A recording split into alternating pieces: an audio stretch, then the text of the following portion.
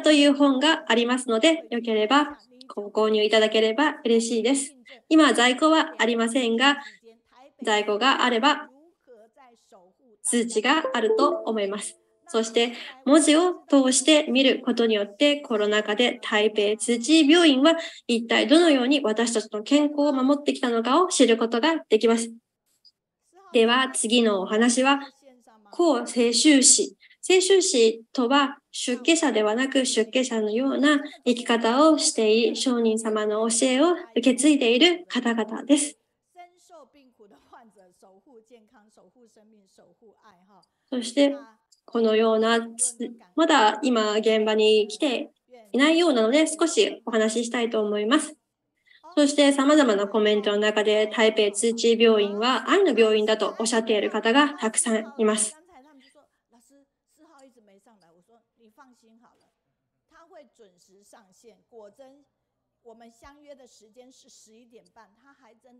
そうですね。私たちはずっと彼が見えないので心配していました。一体どこに行ったのでしょうね。そして11時半に約束したのだけど、なぜまだ来てないんだでも今来ました。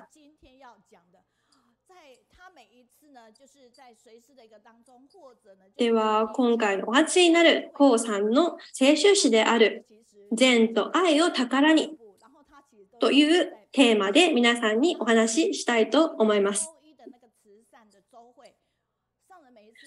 そして彼の彼と歩むということは商人と一緒に歩むということになります。そしてもちろん彼は様々な面で力を入れています。例えば若者の育成など、鉱脈など様々なことに力を入れています。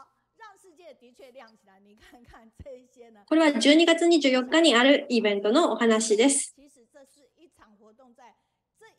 世界を明るくするという、この小さな子供たちは私たちの仏法を伝える大切な子供たちです。そして10歳から18歳のになったりしています。幼い頃からずっと通知の世界で私たち通知のために様々なことを頑張っている若者たちの話です。そして私もこれをオンラインで聞きました。そしてここにいる方々は、通知という通知青年たちの団体のことであり、若者がたくさんいらっしゃいます。そして若者がいることによって通知の通知もより力をつけることができ、そして世界を変えることができるのです。では、その時に若者は一体どのようなことをしているのでしょうか？様々なことをしています。コミュニティボランティアであったり、菜食の進めたり、そして孤児院行ったり、生活貧困者を助けたり、劇をしたり、様々なことをしています。そして私たちは仏法を受け継がなくてはいけないのです。そして、陳小数という聖修士というのは、様々な国から様々な年齢、そして20歳の方、は80歳の方がいます。聖修士というのはとてもかけがえのない存在です。出家者のようではないのですが、出家者のような心を持ち、私たちの世界に法を伝えるのです。そして私は中にいるのでしょうかそして国や学歴、年齢が違う中でも私たちは何がそれは愛があるのです。何が違っても私たちは愛があるのです。申し訳ございません。商人の映像は少しカットさせていただきます。これは通知、通知青年は30というそういうプロジェクトを掲げています。そして私たちは様々な人たちと若者と勉強することができ、若者も通知が一体どのようなことをしているのかということを一緒に学ぶことができます。そしてチームと何かをするということはお互いに理解し合い、お互いに、お互い許し合いながらやっていくことなのです。そしてこう先輩の授業を聞くことができてとても嬉しく思っています。そしてこのように相互に交流ができて自分もボランティアとしてこのような交流ができてとても嬉しいと思います。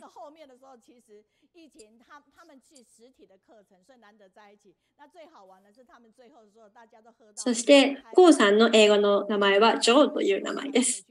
そして若若者は少し違いますが、終わった後にサムダ若者ならではのことを行ったりしています。そして彼はタピオカミルクティー、台湾のタピオカミルクティーを懐かしんでいるようです。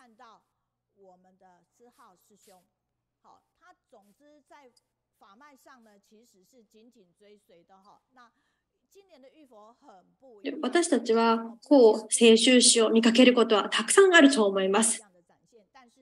彼は商人と共にとても精進し、いつも商人の隣で商人様の教えを私たちに分かりやすく教えてくださっています。そしてこちらの映像は乾物園の映像です。そしてコロナ禍、そしてこのような素晴らしい機会で安定した心、自分の本当の心を見つけ出すことができればとてもいいと思います。そして心が落ち着き安心することが提供できればいいと思っています。そして私たちの高聖集士は彼がもし聖集士にならなければ私たちはきっと大きな損失になると思います。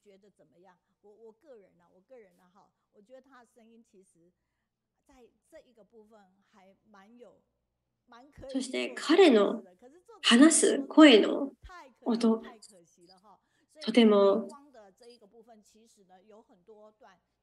とても素晴らしいと私は思っているので、このようなことをすることはとてもいいなと思っています。このかすかな光という動画の中で、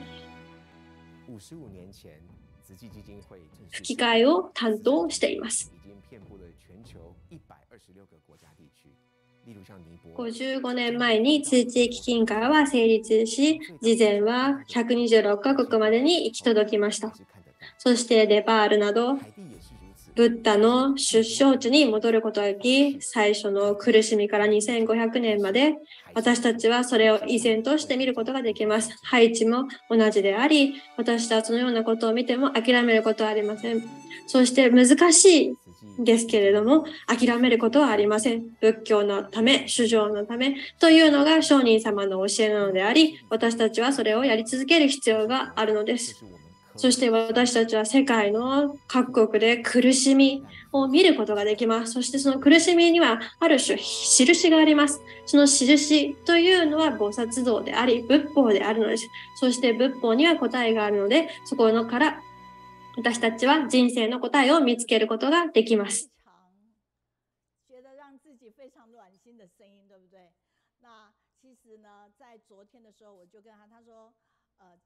この映像を見て、映像を見て、こう、聖修士の声を聞いてとても温かい気持ちになったのではないでしょうか。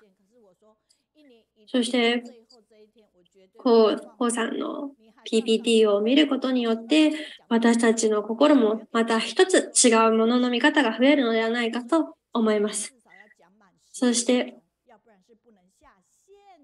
このような素晴らしい方がシェアしてくれるので、とても嬉しいので、でですが、時間の関係もあり、少なく喋ってもいいですかと、コウさんは言っていましたが、結局35分ぐらいの時間になりました。私はあなたと一緒にいるのが好きです。それはなぜならあなたにポジティブパワーがあるからです。では、今、こちらの映像に映っているのが、高清修士ジョジョー先輩です。皆さん、こんにちは。このような機会をくださり、本当に嬉しく思います。そして、ビーン先生に、ビーン先生のチーム、そして動画の連携など、つなぎ合わせということにとても感謝して、そして何より商人様に感謝しています。そして私は善と愛に愛の宝物についてお話ししたいと思います。そして私が聞くとき、何かを聞くときがあります。そしてこの言葉の意味とは一体何なのでしょうかと考えることがよくあります。そして、超委員長は毎毎朝ボランティアの開示をして、とてもエンジョイできているようなものであり、超委員長のお話を聞くだけでも心が安らかになったり、とても気持ちよくなります。そして、超委員長にとても感謝しています。そして、商人様は、台湾は愛と善が宝物なのだとおっしゃっています。そして、以前は台湾は法が宝物がないということが、そういうことを言われていました。そして、この言葉の意味とは一体どのようなことなのかということを知りたいと思いました。私はそれは納得していないというわけではなく、それは一体どのようなことなのか知りたい、挑戦したい、チャレンジしたいという意味で、この言葉の意味を深く知りたいと思いました。そして台湾の宝とは何でしょうか？そして私たちにはたたくさんの宝があると思います。テクノロジー、半導体のテクノロジーなど、それは私たちのが台湾が誇る大切なものだと思います。そして台湾にとって大切な宝物です。台湾にはもちろん宝物があります。そして豊富な、そして豊富な宝物と資源があります。宝物がたくさんあります。では、どうして商人様は宝物がないとおっしゃっているのでしょうか？そして、この宝物、そして宝というものは全て儚いものであり、消えていくものです。変わりゆくものなのです。そして1973年から2020 20年まで私たちの携帯は進化を遂げています。私たちはこれは進化の過程でもあり、それは何かを比較するのにはいいと思います。昔は今の携帯は小さければ小さいほどいいと言っていましたが、今は大きければ大きいほどいいと言ってました。そして今画像に映っているようにソニーなど、Google など、東芝など、ヤフーなど、私たちが聞いたことあるような会社で、そして彼ら、このような会社たちはカメラを開発したり、携帯電話を開発したり、パソコンを開発したりしています。当时都是大家觉得最宝贵或者是做的最好的，但是これは当時私たちにとって宝でした。宝物でもあり、とても大切でとても必要なものであり、しかし時間によりだほとんどが淘汰されてしまうことがあります。そして淘汰されただけではなく、これらを元に教材にされています。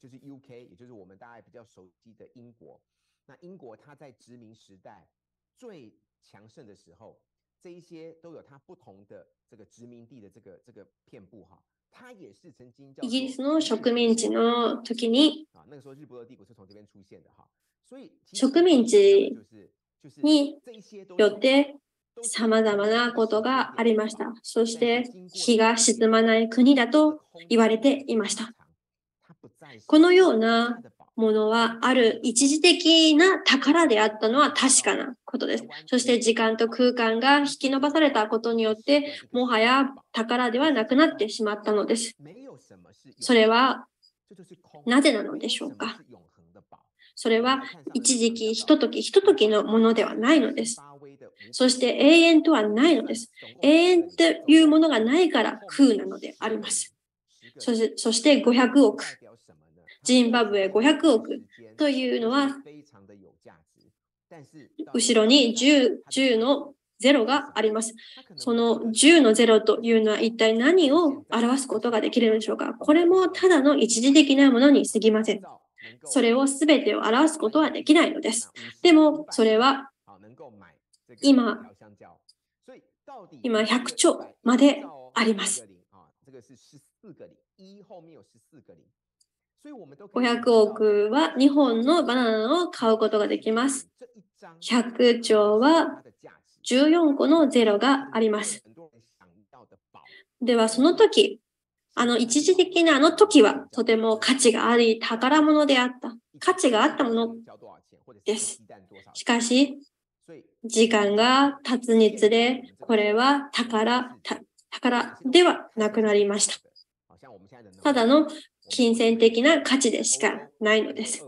そして今、私たちの世界ではどのようなものが宝なのでしょうか？ヨーロッパやウクライナ、ロシア戦争などがあることによって、天然ガスなど、そして石油など、私たちにとってとても大切なもの、そして宝と言い合わせるものです。私たちにとって大切なもので、今は私たちにとってかけがえのないものであります。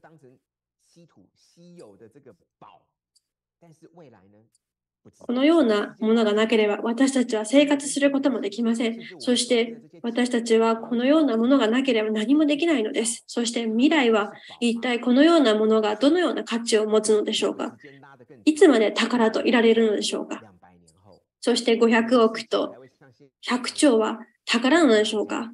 難しいと思います。時間が経つにつれ、きっと変わっていくのだと思います。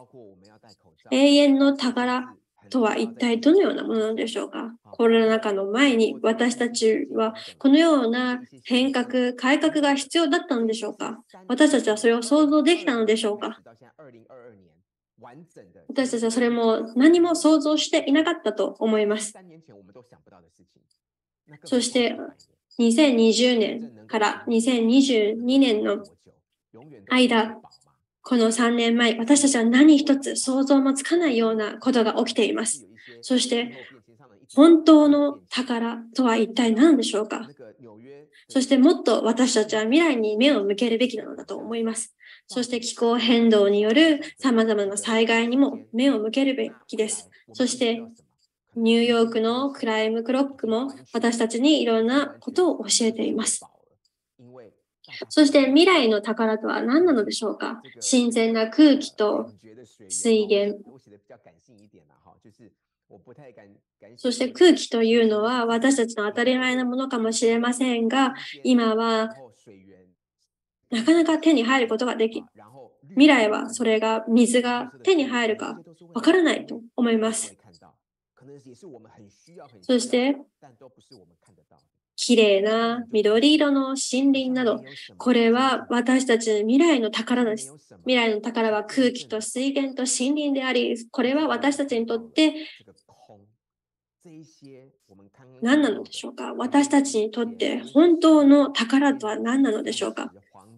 そして私は空という概念を見たことによって、それが何か違うのだと。物質的なものではなく、そういう私たちが持っている物質的なもの、一時的なものではなく、それ、そして最後、それらは全て空の概念になってしまうんです。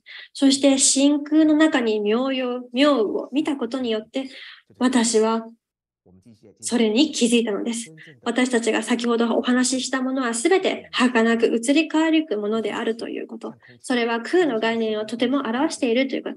では、本当の空、本当の空を体現している宝とは何なのでしょうか？そして空気は宝物と呼ぶほどではないですけど、大切なものでもあります。そして私たちは将来一体どれだけきれいな水を使うことができるのでしょうか？今でもそれは宝では、宝ではあるのですが、そして宝とは一体何なのでしょう宝とは取って変わることができない。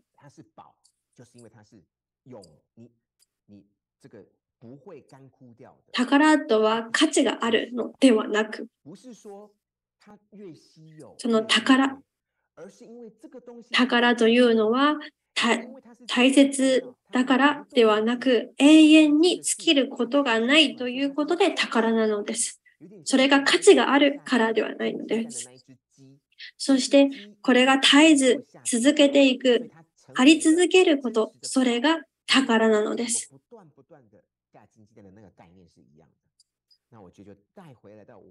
そして卵を産む鶏のように永遠に卵を産むようなことができる。それは宝なのです。そして本当の宝。それとは本当の宝とは善と愛なのです。そして主女が必要なもの。で、商人様は私たちに、私たちの今の時代は愛が欲しくて足りない。そして欲しいけど得られないという病気になっています。このような私たちの時代に必要なのは愛なのです。そして私たちの現代人はとても忙しく、ゆっくり何か挨拶をしたりお話をすることができない、とても悲しいような現状になっています。そして雰囲気も私たちは日に日に変わっています。そして先生は私にたくさんの愛をくださいます。そして主女は愛が必要なので、そしてそのような善が必要なので、私たちは愛し、愛される、そして必要とされることが必要なのです。そしてこのようなポジティブなエネルギー、前向きになるようなエネルギーを私たちは必要としています。そしてそれも取って変わることのできない、取るに変えられない、かけがえのないものなのです。そして愛と善は一つの態度というようなことなのです。そして態度が大切なのです。そのような態度は変わることのできないのです。代替が不可能なものなのです。そして私たちは温かさを必要としています。主情の温かさ。そしてみんなの温かさ、社会の温かさ、親の温かさ、友達の温かさ。これは誰にも取って変わることのできない大切なものなのです。本当の宝というものは枯れることのないものなのです。それが本当の宝なのです。それは取るに変わらないものなのです。そして主女が必要な時に必要なことだけ与えることができる。そして多ければ多いほどいいのです。少ないから少なければいいという反対的な価値ではないのです。そして愛の価値、宝の価値というのはあれ、たくさんあればあるほど価値があるのです。それは永遠に枯れることがないからです。そして、土の商人様が教えてくださったこと、これは尽きることがないのです。五毛線から、五毛線という愛から大きな病院、総合病院になり、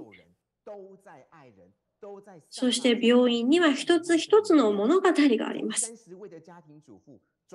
そして1分1秒、でも人を助け、人を愛し、人を善で包み込んでいるのです。そして30人の主婦から私たちは国際 NGO にもなっている。これは永遠に尽きることがないという意味で本当に宝。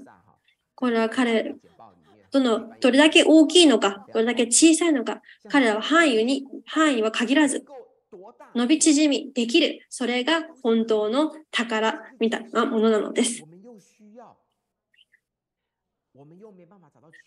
サイズを大きくしたり小さくしたり、自由自在に形を変えることができる。これが本当の宝なのです。そしてこれは取って変わることのできない。そしてたくさん必要な時、小さいところから生まれることができる。そして、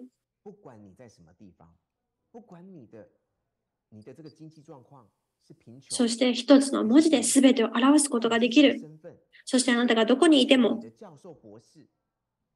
経済的状況がどのようなものであっても、どのような身分であっても、教授であっても、博士であっても、小学生1、2年生でも、どのような人種であっても、アメリカにいたり、アフリカに、アジアであったり、宗教や国家、愛は、愛は変わらないので、尽きることはないのです。永遠にとって変わらない大切なものなのです。そして私ができる、あなたもできる、みんなできる。そして愛が必要ならば与えてそして、そして愛を与えることができれば、さらなる大きな愛を与えることができます。そして苦しんでいる人も、服がある人も愛を与えることができ、善もより良い善を生み出すことができる。これが宝なのです。そして必要な人に足りない人に与えるというのは一体どのようなことなのでしょうか？それは宝が尽きないからできることなのです。すべてを超えていく、超越していく。このようなものを超越し、学術的なものに関係なく、年齢もすべて関係なく、何も関係なく、善と愛、あなたがやりたいのであれば、これは尽きることもなく、与えることも変わらないのです。そしてこの世界で私たちに一番必要なものなのです。取って変わることができないのです。これが本当の宝なのです。これは台湾だけではないのです。この主情は他の宝は難しいかもしれません。この時間やこの時代など様々な空間や時間でそれは宝だったかもしれません。しかし、これが永続的に続く宝とは一体何でしょうか？それは善と愛なのです。そして空、その時間の間、台湾は善と愛によって作られているものであり、包まれているものであり、そしてそれは台湾だけではない、全世界に広がるのです。これが善と愛だけが私たちの宝物なのです。そして、やろうと思えば何でもできるので、そして与えることができるのです。そして台湾は最初は何もなかったかもしれません。今は善や愛があります。そして私たちは自分に宝があるのを忘れてしまっています。本当は私たちの心の中にあるのです。私は目に、私たちは目に見えるものばかりを求めるのではないんです。本当の一番の本質的な宝とは何なのでしょうかそれを考える必要があります。そして私たちが、私たちの宝とは通知であり、商人様なのです。そして私たち皆さん一人一人通知でボランティアをしている人々が宝なのであります。そしてオンラインにいる皆さん、通知の宝であり、商人様の宝であり、私たち、そして善と愛を皆さんに伝えていき、そして台湾でこれを広げていく通知、商人様の教えを広げていきたいと思います。そして商人様に感謝を伝えたいと思います。そしてオンラインでも皆さんに感謝を伝えたいと思います。そしてこの世界の宝に感謝をいたします。ありがとうございます。私は愛がある。私は宝であるというのを一緒に。私は愛が、私は宝というのを、私は愛があり、私は宝であると自分に言い聞かせてください。このような素晴らしいお話をしてくださり、本当にありがとうございます。私たちは本当に宝物を持っているのです。この宝とは商人様であり、通知であり、そして私たちは永遠の心を持つことができるのです。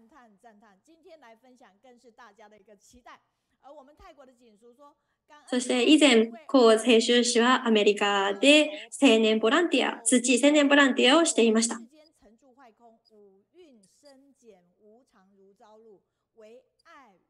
このような素晴らしい機会で、この最後の年末に、こう、清修士のお話を聞くことができて、とても嬉しく思います。善と愛は永遠であり、真善美を表しているようなものなのです。そして、瑠璃のような世界へと行き渡るのです。そして、商人様と共に歩んでいくことを諦めないで頑張りたいと思います。そして、愛が足りない、愛を、愛が不足している主女のためにも、愛を持って彼らと接していきたいと思います。そして、このような才能に溢れている、溢れている高清修士の話を聞けることができて、とても心を震わせられることが多いと思います。そして、高清修士の人材は、のような人材になれるように、私たちも頑張っていきたいと思います。そして彼の人生によって私たちは様々なことを体験し考えることができます。そしてすべての家族、通知の家族の皆さんに感謝いたします。